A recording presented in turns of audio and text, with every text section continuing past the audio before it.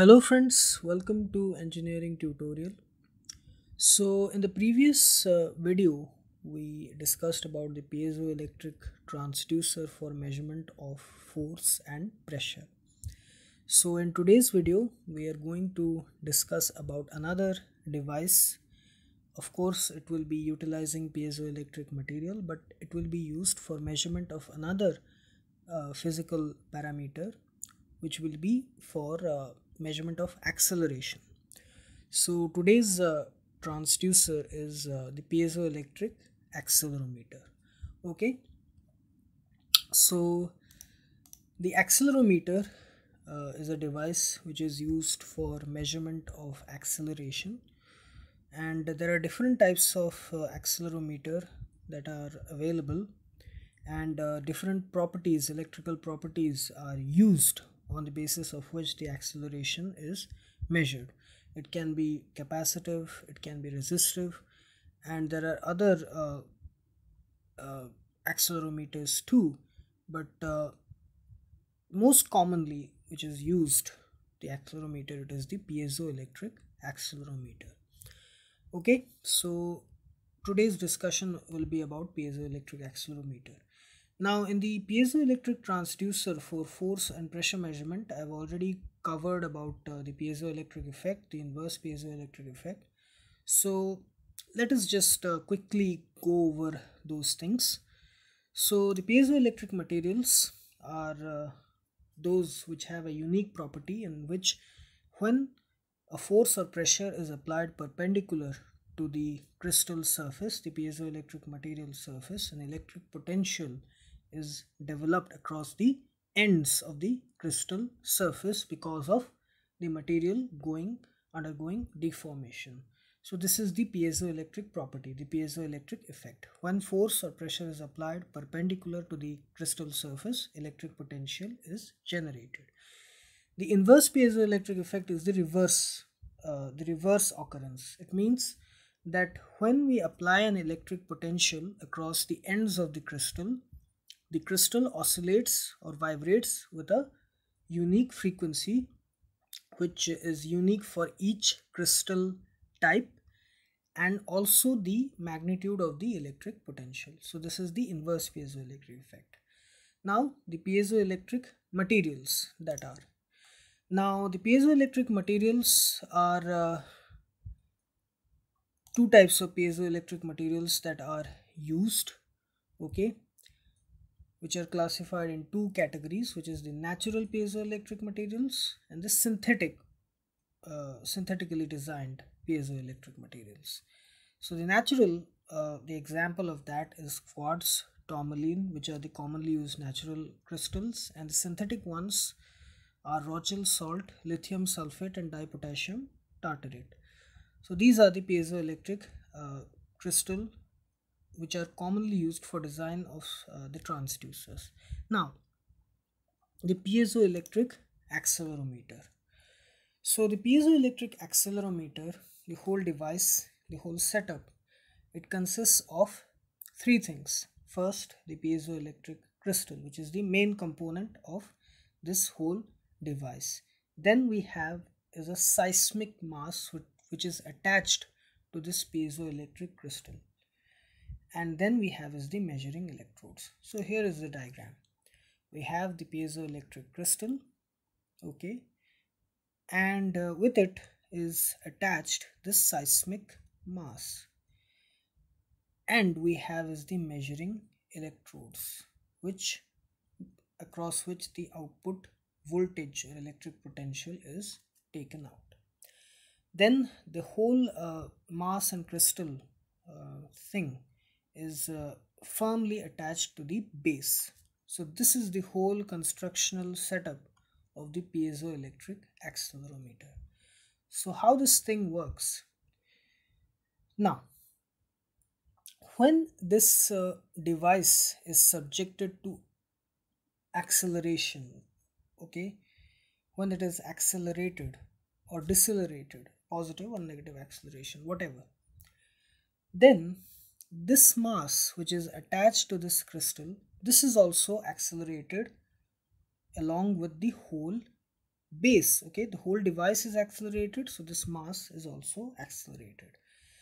Now this mass having a value uh, the mass having uh, the mass uh, m as a result of uh, because of its mass it exerts a force on the crystal perpendicular to the surface with a value of F is equal to mass into acceleration ma. This is the force which is exerted on this crystal surface. This is Newton's second law. Force is equal to mass into acceleration. This mass exerts a force perpendicular to this crystal surface because this whole setup is accelerated. Okay, let the acceleration be A, the mass be M. So the force acting to, on this crystal, piezoelectric crystal is equal to F is equal to ma. Now, the electric potential which will be generated when this force is exerted on the crystal and the crystal undergoing deformation that is given by we know the electric potential value is equal to gt f by a. Okay force this is the area of the crystal surface. This is this force which is equal to mass into acceleration. G is the voltage sensitivity T is the thickness of the piezoelectric crystal okay? So this force it can be written as mass into acceleration okay? This force it can be written as mass into acceleration. So here are the various parameters. G is equal to voltage sensitivity which is equal to k by t where k is the piezoelectric constant which is unique to each piezoelectric crystal T is the thickness of the crystal, F is the force applied in newtons, A is the area of the crystal surface and P is the pressure, F by A. Now, so this equation E is equal to GTMA by A. It can be written in two ways. In this way, A is equal to EA by GTM or E is equal to GTMA by A. Okay, M small a by capital A. Now, here the parameters a, g, t and m they are constant okay? They are constant. The mass of the crystal the mass of this is seismic mass. The mass of this uh, this attached thing object is constant. The thickness of the piezoelectric crystal that is constant. The area of the crystal surface that is constant. And the voltage sensitivity that is also constant which is unique to each crystal. It is specified in the specification sheet of the transducer. So the only things that are variable in this are the electric potential which is the output. This equation is the equation of the piezoelectric accelerometer. The electric potential which is the output which depends directly on the acceleration small a G, T, M and A are constant. Okay, G, T, M and A are constant. It can be treated as one big constant and this A, small a which is the acceleration is the variable quantity. So the output electric potential, this output voltage is directly proportional to the acceleration to which this device, this setup is subjected to okay so this is the main equation of the piezoelectric accelerometer. The output electric potential is equal to gtm by capital a into small a. Gtm and capital a they are constant so the output electric potential this voltage is directly proportional to this acceleration.